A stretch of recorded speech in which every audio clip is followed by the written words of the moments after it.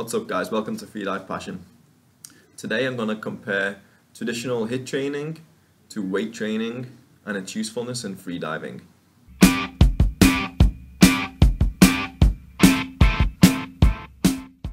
So as usual, there's no straight answer to this question. The answer to the question is going to depend on who's asking the question.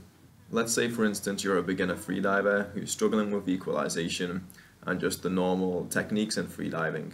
You spending a lot of time doing HIIT training or weight training is not going to help you get past this hurdle, so for you, it wouldn't be the best way to spend your time. If you're doing deep dives and you're starting to struggle with lactic acid buildup or your legs weakening during the dive, then HIIT training or resistance training may become useful to you. In freediving, we use specific energy systems, namely the ATP system and the anaerobic system. The useful thing of HIIT training and weight training is you're using these same energy systems. By training these energy systems, we're training our body to get used to working without oxygen more efficiently. Now to oversimplify a complicated subject, your muscles become tired and start to burn on a dive because you've been working too hard anaerobically and your muscles become acidic. You can combat this from two different directions. The first would be technique. Using bad technique means you're going to have to work harder over a given distance.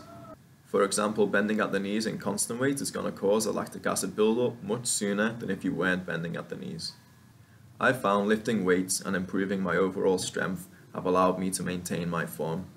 And maintaining my form means less lactic acid, less fatigue.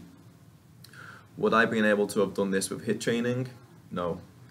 Um, traditional HIIT training, it's generally body weight, you're not using much um, heavy weight, so you're not actually going to increase your overall strength. It doesn't matter how many body weight squats you do, you could do a thousand body weight squats, it doesn't mean you're going to be able to squat 150 kilos. For me, becoming stronger means that I don't get any lactic. I put off the amount of time until my legs become lactic. Whereas training with HIIT, you're basically getting used to lactic acid and being able to deal with the lactic acid for longer.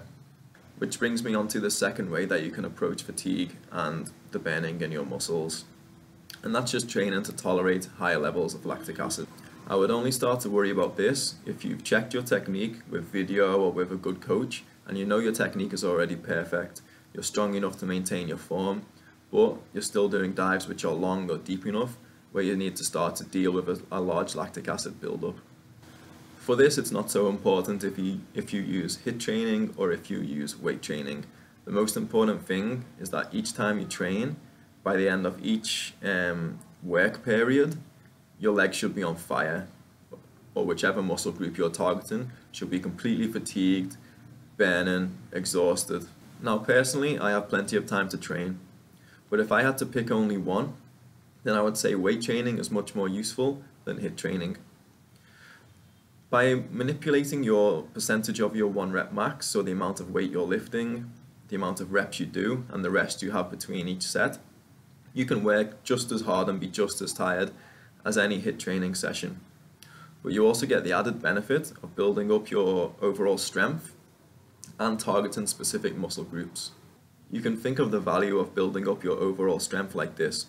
Let's imagine there's two divers, they both have the exact same technique, um, same mouthfill, everything is the same. Only one diver can squat 60 kilos, the other diver can squat 120 kilos.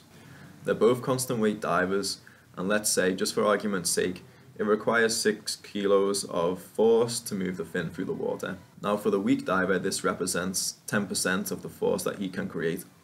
For the strong diver, this represents 5% of the force that he can create, half. So which diver is going to become fatigued sooner? The one using 10% or the one using 5%? I think the answer is pretty obvious. When it comes to freediving, HIIT training and weight training only becomes useful when you're starting to dive quite deep, below recreational levels, let's just say. But in life in general, we only get one body. It's important to look after your heart, your lungs and your muscles.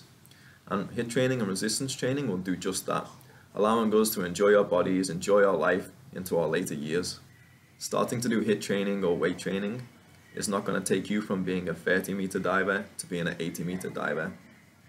What it will do is give you that edge which is going to allow you to progress a little bit further if you're already a deep diver, allow you to enjoy your dives that little bit more, or get them extra few meters if you're a competitive diver. In my month-long mentorships, we're doing HIIT training or weight training five times a week after our dive sessions. By the time you leave me, you'll be quite aware of how to use both these methods of training.